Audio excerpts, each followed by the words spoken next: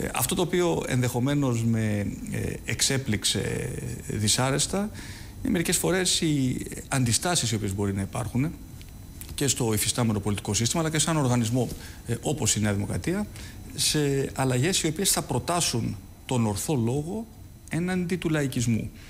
Σε αυτό όμως κύριε Παχελά είμαι αποφασισμένος να μην κάνω καμία έκπτωση. Διότι αυτή είναι η εντολή την οποία πήρα να προσφέρω στους Έλληνες πολίτες, να προτείνω ε, μια συμφωνία αλήθειας, έναν διαφορετικό δρόμο εξόδου από την κρίση. Και αυτός ο διαφορετικός δρόμος δεν μπορεί να στηρίζεται σε υποσχέσεις, σε παροχές ε, χωρίς αντίκρισμα. Εγώ δεν πρόκειται να αντιγράψω τις κακές συνήθειες άλλων αρχηγών αξιωματικής αντιπολίτευσης, οι οποίοι για να εκλεγούν έταζαν τα πάντα στους πάντες, μόνο για να βρεθούν αντιμέτωποι με τη σκληρή πραγματικότητα των δικών τους προεκλογικών δεσμεύσεων όταν πια έφτασαν στην εξουσία.